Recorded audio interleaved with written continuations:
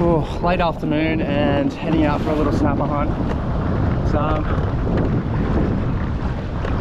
still a fair bit of swell, so it's fine in the kayak, just too rough for fishing on the rocks. But haven't been snapper fishing for a while, really long time. So I figured I can just come out here for an hour, an hour and a half and get a snapper or two, then killing it. Good exercise too. So just gonna flick soft plastics. I'm gonna head out to the reefs now and uh, let's get into it. Just a nice gentle little breeze blowing. Probably around eight knots, eight to 10 knots, which just creates this nice little ruffle on the surface. There's no white caps.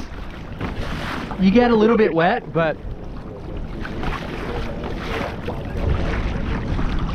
definitely doable. And the good thing about this breeze is it's just going to give me this nice drift along the reefs where I can just pepper soft plastic lures and use the wind to my advantage to really get that distance away from the kayak and just being really stealth because I'm not going to have to paddle I'm just going to use the breeze to sort of blow me around and drift over some zones that I think are pretty good um, just running bare bones today. Didn't bring the sounder out. I don't think I need it. I think I know these reefs pretty well so I'm just gonna cruise around and flick plastics. Fingers crossed there's a snapper or two around. I mean I'd be happy with one but uh yeah. More is always good too. Just keep them for a feed. It's so tasty. A few birds on the surface out here. I didn't bring gear to pop for kingfish or anything today. I'm really just focused on snapper. So see how we go. I'm gonna run these today. It's a Garlicker 7 inch jerk shad. I've actually never run these before. I heard they're really good. I usually use the Yakka snack but these have just been sitting there. I've been keeping them because I was gonna go up north and just never happened so just gonna use them here and see how we go. I'm gonna pair that up with a 5.0 TT Headlockz. It's got the little eyes on it this one little pink which looks kind of cool. Uh, I can see some birds here. Like there might have been some pelagics you know up on the surface before feeding which could be a good sign. Sometimes the snapper will be underneath them just saw some bait jumping here. So load this thing up. What I normally do is just put a little nick there just so I can tell where the hook's going to come out. Make sure it's just that right length. Try and thread it down the center as much as possible and out that little hole I made. You want this to be nice and flat. That's pretty good. So, and then we're just gonna start peppering really. Get the drag set right. 20 pound line, 20 pound leader. And then you just throw, just flick. Here we go. What do we got here? See if I can get a good little drift going. Oh, there's a bit of current. See this current? That kind of looks a bit special. There's something going on here. So I'm going to try and just cast downwind into this little current zone. A bit tighter. Feels pretty good. All right, let's see if we can get a big snaps.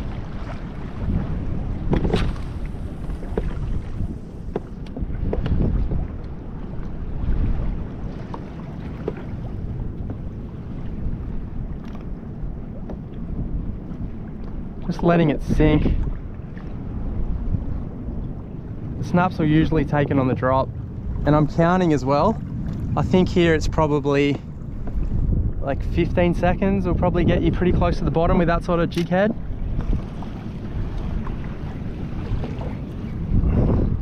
Sometimes I'll just do a little flick flick, but the kingies tend to eat it if you do too many flicks. So I just try not to do that. And what I'm gonna do is actually just be really quiet because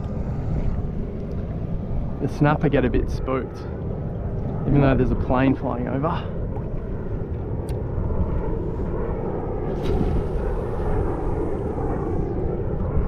I think there's a bunch of kingfish or something around here. See them on the surface there? Just some little, there's a whole bunch of stuff happening around here. Look at all this, see there's all this flotsam and jetsam. Seaweed floating in the water. It's definitely feeling pretty fishy.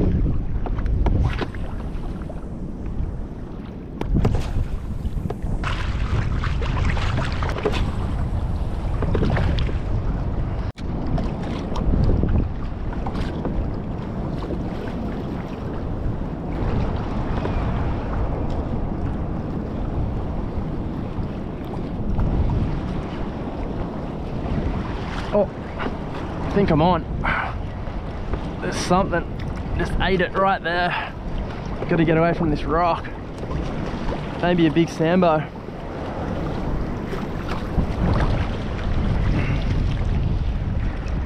Oh. What we got?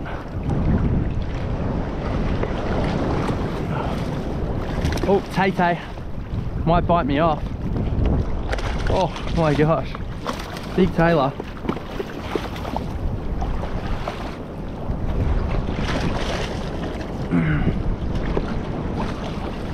Trying to get out of this wave zone. Hey, come here. These things are nasty. I'm gonna put a glove on. Definitely have some big, sharp teeth. Well, not big teeth, but really sharp teeth.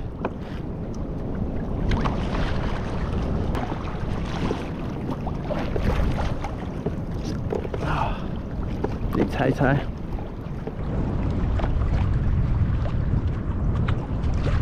Always hard fishing in the yak, but when you get something that's got sharp teeth like this, it makes it even harder.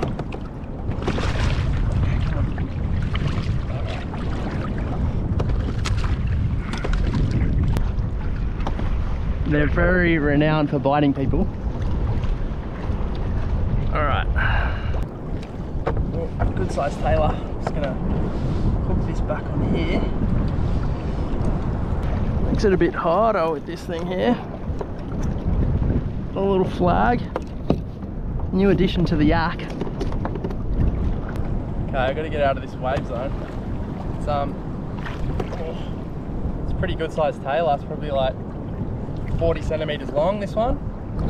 I'm gonna keep this one and might make a curry or something out of it or either that or use it for mulloway bait. Just um, put it out of its misery and get out of this wave zone. Then we can start peppering again, trying to get some snapper.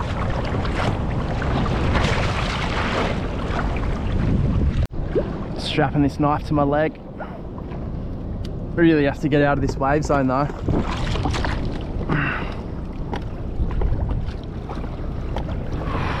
Not a spot you want to be sitting. I think we're okay in here where we are. Alright, let's get this tailor in.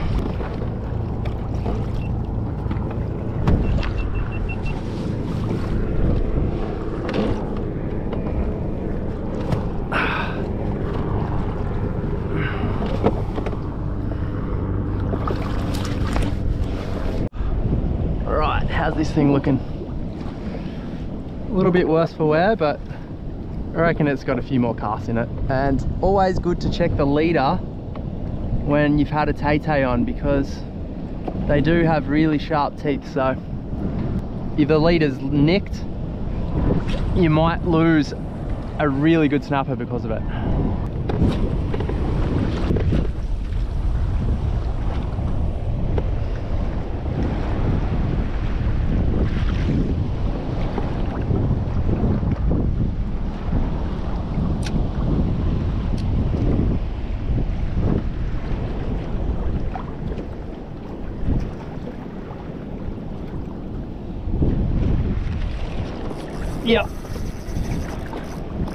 That's a good snap. Oh, come on. Yeah, there it is. Oh. Oh, could be a kingy actually.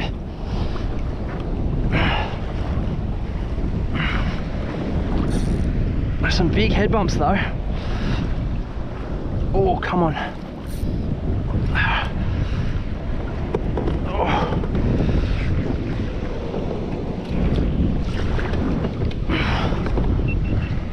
Come on.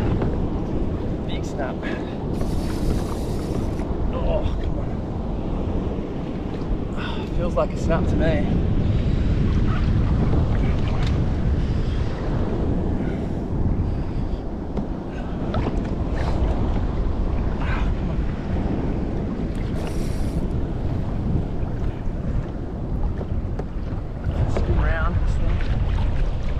Oh.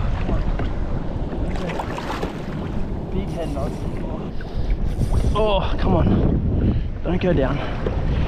Big head nods. Oh, mate. It's a good fish, whatever it is. Oh, probably a snap. Oh, come on.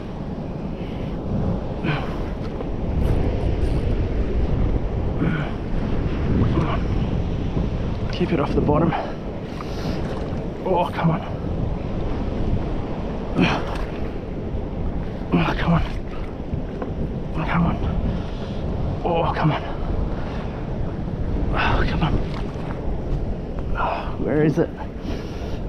Here we go, here we go, here we go, here we go. What do we got? Oh, what is it? What is it? Oh, come on. Oh, big red, big red.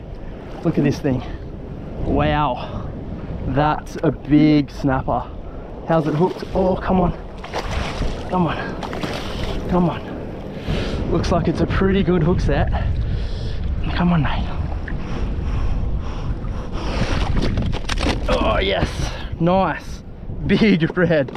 Wow. Look at this thing. That is amazing. Wow. Oh, that was exactly what I was after. Just throwing that plastic around. Sick. That is so good. Big fat red, man. Perfect. Perfect, perfect. so good. Oh my gosh. Yes, man. That is a big red. I'm shaking. That was a good fight. Perfect time. Just gotta quickly sort this thing out and then get casting again because if there's one, it could be multiple and yeah, that's a good fish, man. That's like uh, a, I don't know, but I have to weigh it. Look at that thing. That is a really healthy big snapper and it's coming home perfect. Big for around here. Look, you go up the coast and they're definitely much bigger, but this is this is a good size snapper for around here in Sydney. Really nice one to be able to come out in the kayak in the afternoon and just get this solid beast. All right, I'm holding it nice and tight so it doesn't jump out of the yak. I think I'm gonna clean it up and uh, dispatch it and then just keep fishing and see if we can get another one because there's still a bit of time. so sick.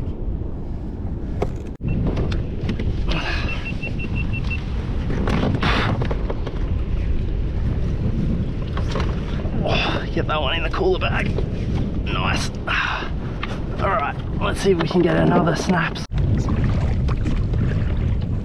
Mate, it's pretty hard to beat these afternoons out on the yak. Like, fish like that, that's a good quality fish being close in Sydney, in really shallow water in a kayak. Like, just epic, epic, epic.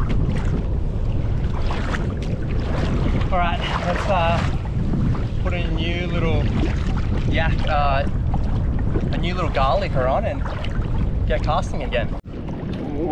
Well, it was worth using that one to the bitter end, wasn't it? One tailor, one snapper.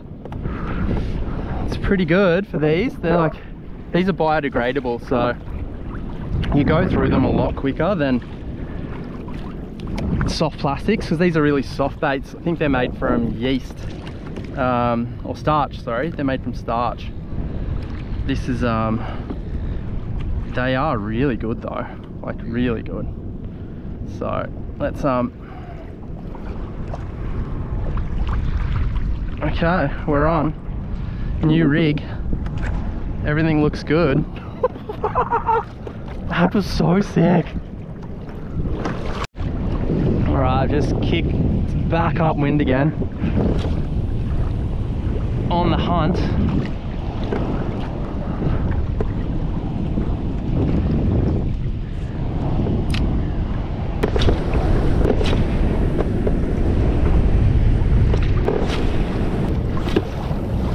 Pepper pepperoni.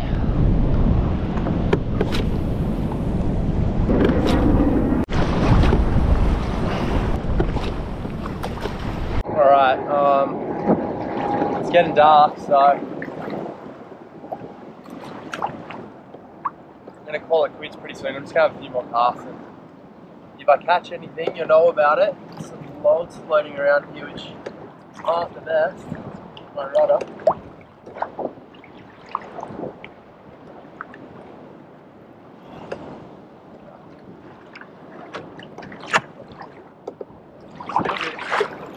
Um, yeah, I better kind of head in so I can still see. Um, have a few more casts, but pretty slow. I mean, got that one really good snapper and got that tailor, so can't complain. We've got enough food.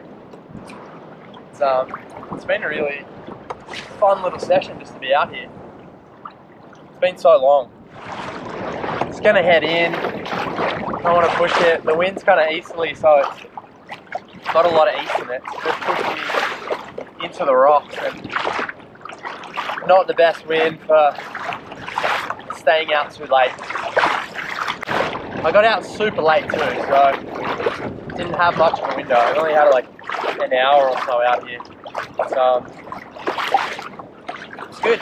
Anyway, I'm gonna keep heading home.